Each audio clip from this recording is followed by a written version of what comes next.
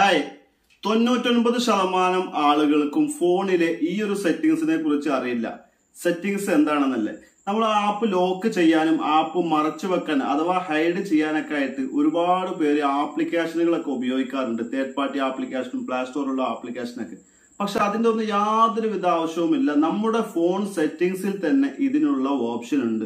ഇനി അത് ഇല്ലാത്തവർക്കാണെങ്കിലോ നിങ്ങൾക്ക് ഫോട്ടോ ലോക്ക് ചെയ്യാനും വീഡിയോ ലോക്ക് ചെയ്യാനും ആപ്പ് ലോക്ക് ചെയ്യാനും ആപ്പ് ഹൈഡ് ചെയ്യാനും വെറും പന്ത്രണ്ട് എം ബി ഉള്ള അമ്പത് മില്യൺ ഡൗൺലോഡിംഗ് ഉള്ള ഒരു ആപ്ലിക്കേഷന്റെ ലിങ്കും ഈ വീഡിയോയുടെ മുകളിൽ കൊടുത്തിട്ടുണ്ട്. ഈ ഒരു ഓപ്ഷൻ ഇല്ലാത്തവർക്ക്. ആ ഒരു ലിങ്ക് ക്ലിക്ക് ചെയ്തുകൊണ്ട് ഡയറക്റ്റ് ആയിട്ട് തന്നെ ട്രസ്റ്റഡ് ആയിട്ടുള്ള ഈ ഒരു ആപ്ലിക്കേഷനും നിങ്ങൾക്ക് ഇൻസ്റ്റാൾ ചെയ്യാം. അപ്പൊ എങ്ങനെയാണ് ഫോണിലെ സെറ്റിംഗ്സ് ഉപയോഗിച്ച് ആപ്ലിക്കേഷൻ ലോക്ക് ചെയ്യുന്നതെന്നും ഹൈഡ് ചെയ്യുന്നതെന്നും നോക്കാം. നേരെ വീട്ടിലേക്ക് പോവാം.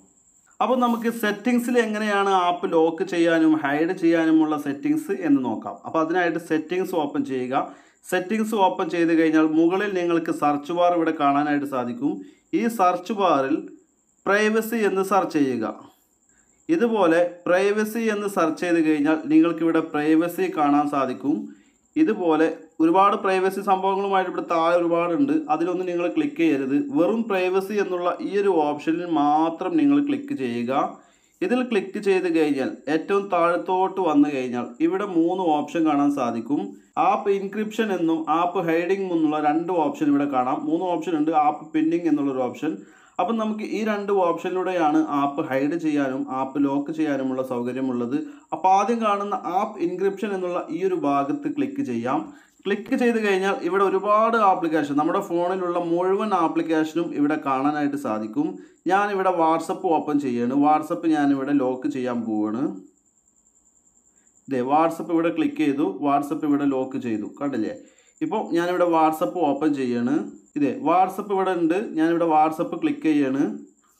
വാട്സപ്പ് ഇവിടെ ക്ലിക്ക് ചെയ്യുമ്പോൾ അതെ കണ്ടില്ലേ? ഒന്നില്ലെങ്കിൽ ഫിംഗർ പ്രിന്റ് നിങ്ങൾക്ക് ഫിംഗർ പ്രിന്റ് ഉപയോഗിക്കുന്ന ഫോണാണെങ്കിൽ ഫിംഗർ പ്രിന്റ് വെച്ചിട്ട് നമുക്ക് ലോക്ക് ചെയ്യാം. ഇനി അഥവാ പാസ്വേഡ് വേണമെങ്കിൽ ഇവിടെ പാസ്വേഡ് ക്ലിക്ക് ചെയ്ത് കഴിഞ്ഞാൽ നമുക്ക് പാസ്വേഡ് ഉപയോഗിച്ചുകൊണ്ടും ചെയ്യാനായിട്ട് സാധിക്കും. അപ്പോൾ ഞാനിവിടെ ഫിംഗർ പ്രിന്റാണ് കൊടുക്കുന്നത് ഇതേ കണ്ട? അപ്പോൾ ഫിംഗർ പ്രിന്റ് കൊടുത്തപ്പോൾ ഓപ്പൺ ആയി. ഇനി നമുക്ക് വാട്സപ്പ് നമ്മുടെ ഫോണിൽ ഉണ്ട് എന്നുള്ള വിവരം ആരും അറിയാൻ പാടില്ല. ഇതുപോലെ വേറെ ഏത് ആപ്ലിക്കേഷനും നമ്മുടെ ഫോണിലുള്ള വിവരം ആരും അറിയാതിരിക്കാൻ എന്താ ചെയ്യേണ്ടത്?